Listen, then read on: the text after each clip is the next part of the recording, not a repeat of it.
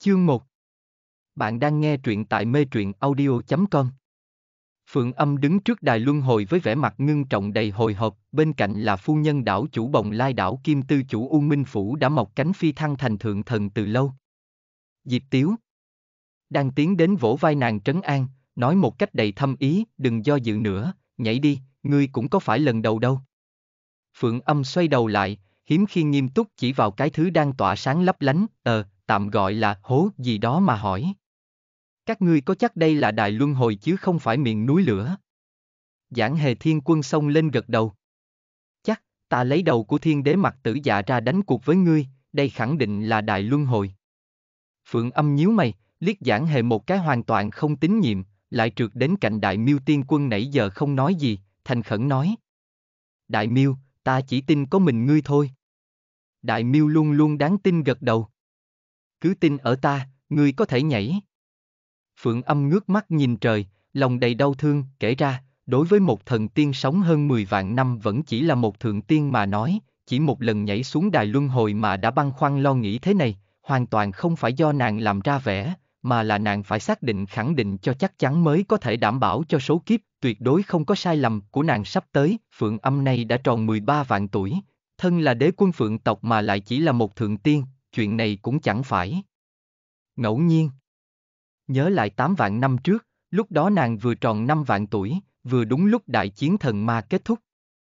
Nàng lúc ấy đang ở chiến trường, đột nhiên có người vội vàng quýnh quán chạy lại nói với nàng. Đế quân, kiếp số phi thăng của người đã đến, nhanh đi lịch kiếp đi. Thần tiên phi thăng cần cơ duyên, nàng cuối cùng cũng chờ được cơ duyên này, sao không vui sướng cho được. Thế nhưng khi đó tất cả mọi người đều đang ra trận, đài luân hồi chẳng ai canh giữ, vì thế tỏa tiên thủy dùng để xuống trần làm gì có, nàng thật sự không biết làm sao. Cũng may, tiểu tiên này rất hiểu chuyện, thấy nàng lúng túng thì khẳng khái nói. Đế quân đừng lo, tỏa tiên thủy tiểu tiên có mang cho đế quân đây, đế quân chỉ cần thẳng hướng bắc đến đài luân hồi rồi tự động hạ giới là được. Chuyện vốn vô cùng đơn giản, vì thế Phượng âm hí ha hí hửng uống xong tỏa tiên thủy rồi hóa thành Phượng hoàng bay về phía nam, tác giả. Vâng, bạn không lầm đâu, nàng bay về phía nam đấy à, bay một lúc lâu, cuối cùng cũng thấy được một ngọn núi có cái hố tiên trên đỉnh, tuy có xấu xí nhưng đúng là có khí tức tiên gia. Vì thế nàng vui mừng kêu một tiếng, nhắm mắt cắm đầu lao thẳng xuống, sau đó là quá trình rơi tự do, sau đó nữa, nàng cảm thấy có từng đợt khí nóng phả vào mặt, lúc ấy nàng còn nghĩ, đại luân hồi nóng thật, nhưng chờ đến khi trong không khí lan tỏa thứ mùi quen thuộc, nàng không thể không mở mắt ra, rồi, nham thạch nóng chảy đang gần trong gan tấc, nàng sợ tới mức niệm chú vọt về sau ba trượng, nhưng nàng đã quên, vừa mới uống tỏa tiên thủy, tiên lực của nàng đã bị phong bế. Vì thế sau ba trượng nàng bị dừng lại, rồi tiếp tục lao thẳng xuống lòng nham thạch đang sụp sôi.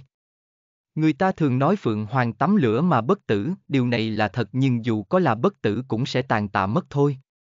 Bởi đó, giữa dòng nham thạch nóng nàng đau khổ vùng vẫy hồng vỗ cánh bay lên trời, nhưng phía sau, một con chim đen thùi đã vọt tới trước mặt nàng đón được nàng trong giây phút sắp chìm xuống nham thạch, nàng ngẩng đầu đang định nổi trận lôi đình mắng đối phương, kết quả đối phương bỗng dùng mỏ gấp cổ nàng, ngậm vào rồi đáp xuống một tảng đá, mặt nàng đen như đáy nồi, nàng đường đường là đế quân phượng tộc, thế mà lại bị con chim đen xì này ngậm vào mỏ.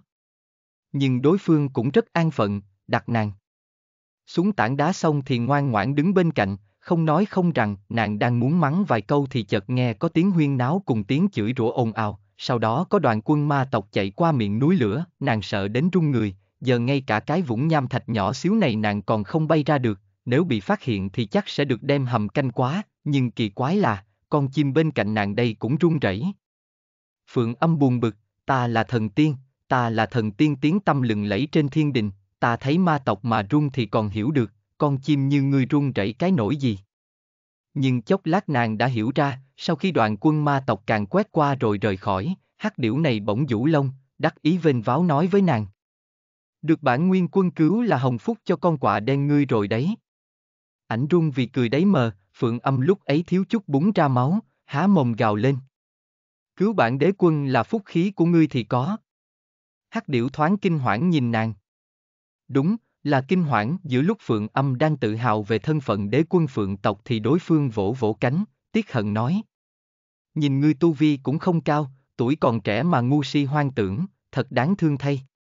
Nghe trọn bộ tại mê truyện audio.com, link trực tiếp ở phần mô tả.